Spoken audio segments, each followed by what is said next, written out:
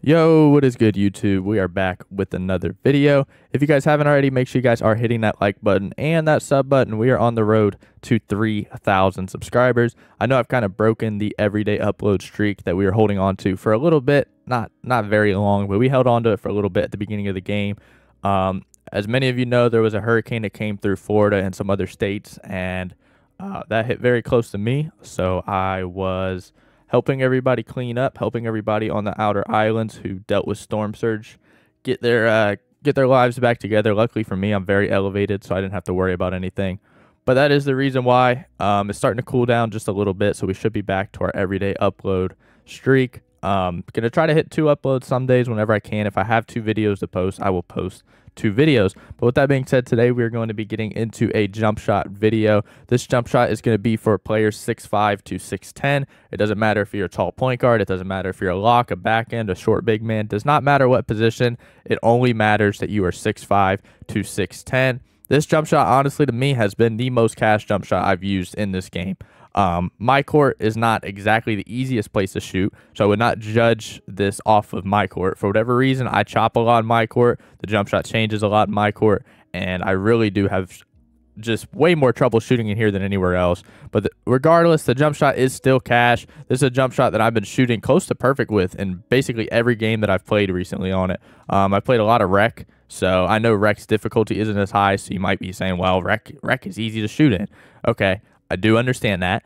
Um, I've used it. I've used it in the proving grounds a good bit. It's cash into proving grounds. Obviously, it's a little bit less consistent in there because that is the truth that the jump shot difficulty is just a lot harder in proving grounds. Um, but in terms of rec, in terms of the city, it's cash. I mean, I'm really not missing much. Um, I don't know what it is with my court. My court to me has just been hard, hard to shoot in since the beginning of the game. I don't know why.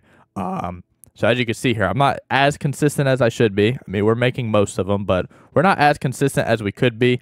One thing I do really enjoy about this jump shot is that it makes your fade just very smooth. Um, I know for most people, if you're using this on a lock, it doesn't really matter to have a fade. For me, I like to be able to move with the ball, um, do an up fake of some sort, and go into a fade. I don't know why they're making me pull up straight. Um, that is one thing that I will say about 2K that I am not fond of this year is the fact that you pull up straight. But as you can see, that fade is just, it's super smooth. You can see your release point. I wasn't really paying too much attention to time it. Um, but it is a very smooth fade with the jump shot. Uh, the fade is Pro 2 if anybody needed that. But it is just a super, super easy release um, when you compare the jump shot with the fade compared to other jump shots that I've used with that same fade. But overall, like I said, this is probably the best jump shot that I've used this year it just puts the ball super high above the head. The base makes it a little bit easier to shoot. Um, so with the timing on it, the way you're going to time this jump shot, which I'm going to shoot a very late because I don't really care. But as you can see, he pushes his right arm very far out. So what you're going to do to release it at the correct timing is you're going to release it right when that right arm starts to bend. When that right arm starts to bend, that's when you're going to release a shot. That's going to give you the most amount of greens. Um, obviously, shooting off field this year doesn't really work out. You have to shoot off of actually seeing your release point. If you don't do that, you're going to miss a lot of shots um, because your jump shot changes pretty much every other shot. Um, not always, but nine times out of 10, your next shot's going to be different than the shot you took before. So make sure you're looking at that release point. That is my favorite thing about this jump shot by far is that as somebody who always kind of shot off feel, and don't get me wrong, I mean, you can still do it, but I was a 60, 70% park shooter off shooting with feel.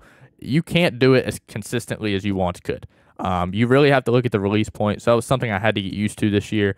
And this jump shot right here was the easiest out of all of them to find a release point in. You can mess with the push and release and whatever visual cue timing you want to put it on. You can mess with all that. Um, I put it right on the push line, as you're going to see here in just a second. We're going to go ahead and go to that. But yeah, I put it right on the push timing. Um, that's always kind of what I do for my jump shots. I believe that my big man video, the 6'10 to 7 footer, uh, 7 foot 3, if you need that jump shot, once again, it is um, already posted uh, about a week ago.